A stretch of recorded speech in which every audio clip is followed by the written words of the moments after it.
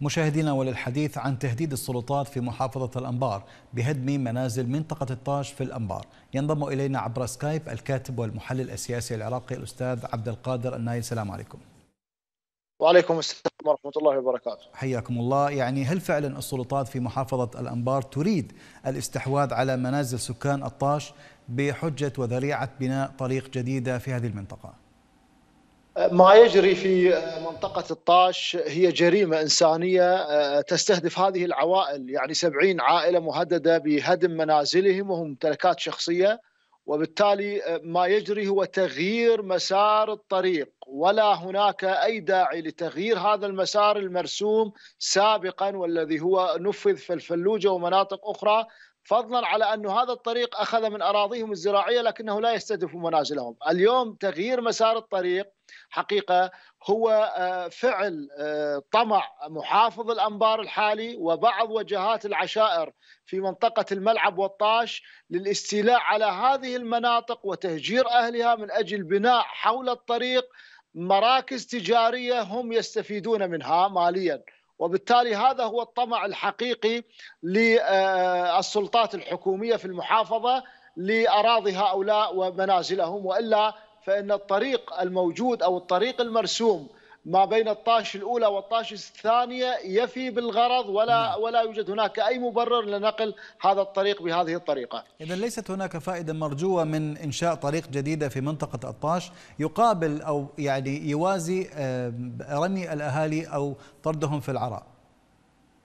يوجد هناك سوى الطمع التجاري والمالي لأنه حقيقة المحافظ الحالي هو يستحوذ على كثير من الأراضي وبالتالي يتخير الأراضي التي يمكن من خلالها أن يأخذها لنفسه أو لمن يشاركهم في بناء مكاتب أو مراكز تجارية. وبالتالي القضية قضية تجارية لا تتعلق بطريق بطريق أن الطريق يحتاج هذه الأراضي لأن الطريق مرسوم منذ عام 2012 الطريق الحولي وبالتالي هذا الطريق المرسوم والمعد له الخرائط لا يستهدف هذه المناطق بالمطلق ولا يوجد هناك أي داعي لاستهداف هذه المناطق وبالتالي ما يحدث على أهل الطاش وعلى السبعين عائلة الكريمة هي جريمة واستهداف وعمل عدواني. ينبغي أن لا يتركوا هؤلاء وهنا نداؤنا إلى أهل الرماد الكرام أن يكون لديهم موقفا إيجابيا لأن القضية أصبحت تستهدف كرامة المواطن وكرامة هؤلاء من كرامة أهل الرمادي. طيب بالتالي ينبغي إيقاف هؤلاء الطامعين بالأراضي الذين حقيقة يريدون الاستحواذ عليها بداعي التجارة هم وبعض هؤلاء الزعامات العشائرية.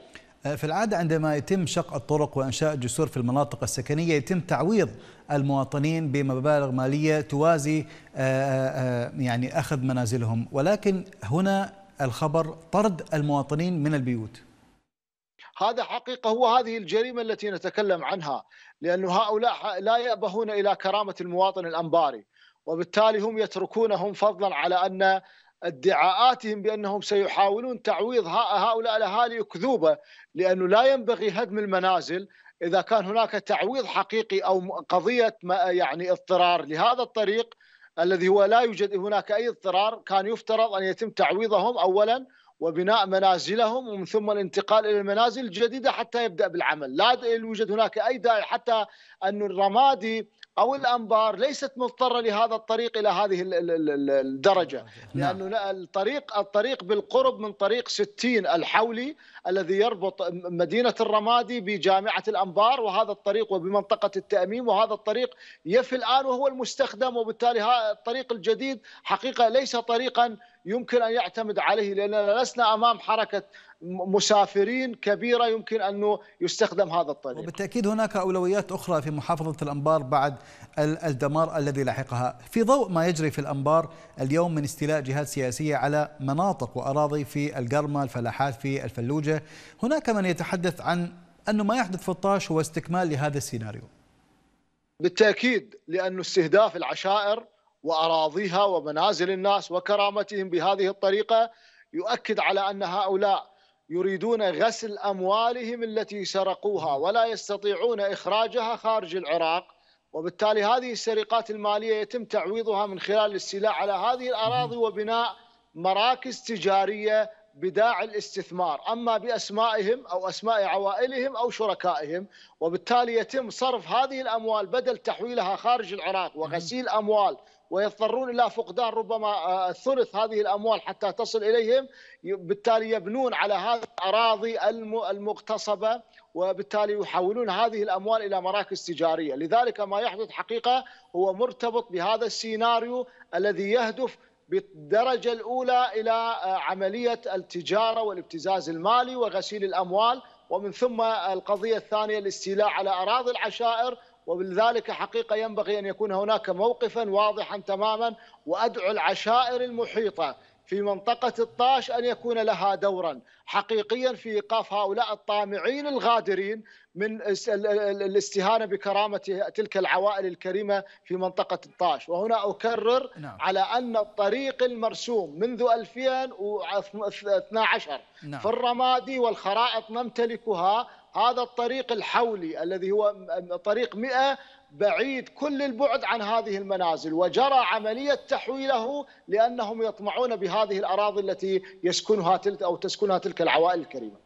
طيب هنا يعني ماذا لو استمرت في مثل هذه الممارسات في الأنبار واستمر طرد المواطنين من منازلهم في الوقت الذي لا زال الآلاف نازحين ولم يعودوا أصلا إلى مناطقهم؟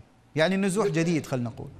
بالتأكيد هو نزوح جديد وهو استهداف لكرامة المواطن الأنباري وهؤلاء يعني آه، آه، حقيقة المحافظ الحالي وإدارته يختبرون صبر الأنبار لأن هؤلاء حقيقة قد تجاوزوا جميع الخطوط الحمراء في إهانتهم للعشائر وفي إهانتهم للعوائل الكريمة وفي الاستيلاء على أراضيهم وتهجيرهم لأن هؤلاء حقيقة لم يمتلكوا ذرة من المفهوم الإنساني في مساعدة النازحين الموجودين في الخيم داخل محافظة الأنبار. فكيف لهم أن يغيثوا هؤلاء أو يساعدوهم؟ لذلك حقيقة القضية واضحة ومعلومة تماما هو استهداف مبرمج وبالتالي هذه القضية كما تعلم يرتاح عليها الميليشيات وإيران في التغييرات لأنهم يستفادون من إخراج أي جزء من محافظة الأنبار كان صغيرا أو كبيرا من هذه العشائر لأنه في في يعني في القضية الأخيرة هم يستولون أيضا الميليشيات المحسوبة على إيران على أراضي في الأنبار ويسعون إلى تغييرات ديمغرافيه وبالأمس القريب دخلوا إلى منطقة الرحالية بعمق خمسة كيلو متر